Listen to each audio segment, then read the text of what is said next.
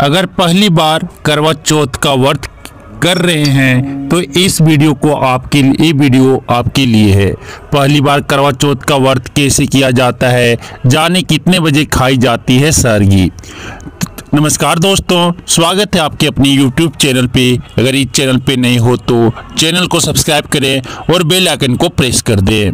करवा चौथ व्रत का हर सुहागन को पूरे साल बेसब्री से इंतज़ार रहता है। जाने इस साल करवा चौथ व्रत कब है? व्रत कैसे किया जाता है और सरगी से जुड़ी खास बातें। अखंड सौभाग्य की कामना के साथ सुहागिनों करवा चौथ व्रत रखती है। कुंवारी लड़कियाँ मनपसंद हम सफ़र पाने के लिए भी करवा चौथ व्रत करती हैं। हर साल करवा चौथ व्रत कार्तिक मास के कृष्ण पक्ष की चतुर्थी तिथि को रखा जाता है? इस साल करवा चौथ व्रत 1 नवंबर 2023 बुधवार को रखा जाएगा। हिंदू धर्म के अनुसार सुहागिने सास द्वारा दी गई सरगी खाकर व्रत की शुरू करती हैं और फिर पूरे दिन निर्जला व्रत रखने के बाद शाम को चंद्रदेव को अर्घ्य देने के बाद व्रत खोलती है। अगर आप पहली बार करवा चौथ व्रत रखने जा रही हैं तो यहाँ जान लें कैसे रखें व्रत और सरगी खाने का समय। पहली बात, सबसे पहले व्रती महिला को सुबह उठकर बड़ों का आशीर्वाद लेना चाहिए, फिर सरगी खाकर व्रत की शुरुआत करनी चाहिए। पहली बार करवा चौथ, व्रत करने पर विवाहित महिला को सास सरगी में फल, मिठाई, कपड़े और श्रृंगार आदि का सामान देती हैं।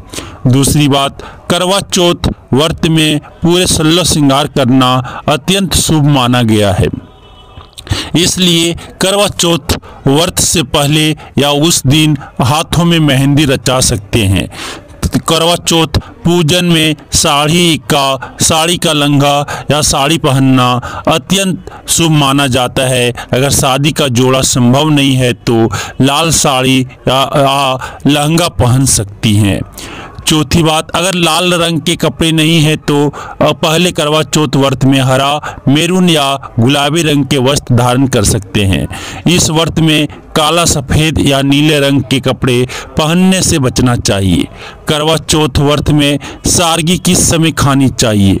सारगी का अर्थ सुबह होने से पहले का भोजन है, इसलिए इसे सूर्योदय से पूर्व खा लेना चाहिए। महिलाएँ करीब सुबह तीन चार बजे उठकर स्नान आदि से निर्वृत्त होकर सर्गी खाती है।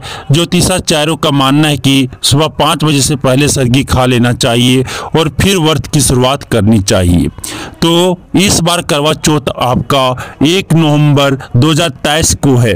आपकी 31 नवंबर को नौ बजकर कुछ मिनट पे आपका रात को स्टार्ट है, शुरू है और आपके दूसरे दिन नौ बजकर कुछ मिनट रात तक है, एक नवंबर 2023 को।